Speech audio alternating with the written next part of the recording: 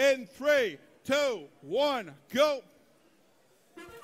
Starting autonomous now in match number 20. For the Red Alliance from Taiwan, we have Team 11047. Screw it. And their partner, Team 10294, The Edge from Hartland, Wisconsin. For the Blue Alliance, Team 4211, the Bombers are from St. Louis, Missouri. Firing ourselves across the western part of the state are Astromax Team 3409. They're from Kansas City, Missouri.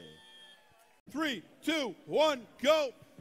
Three robots and two cap balls were piled up into the center of the field, right under the center vortex. Separating now, two blue beacons, two red beacons, balls firing up into the center vortex now. As these teams collect the particles from the mat.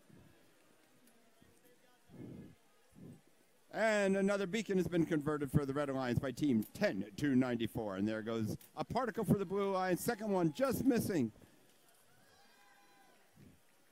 Now the exciting part of this match is the quick collection of the particles by these teams. They're all very efficient, very good teams. Again, our Blue Alliance made up of two teams from Missouri.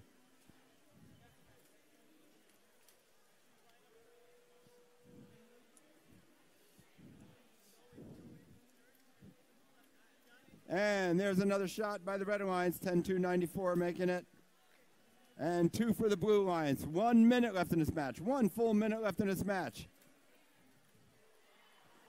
Just missing by the Red Alliance. And there's one good shot, two good shots, and three good shots by the Red Alliance. Particles now flying for the Blue Alliance. 45 seconds left in this match.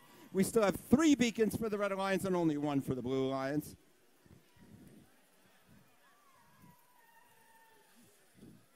Clock is ticking down.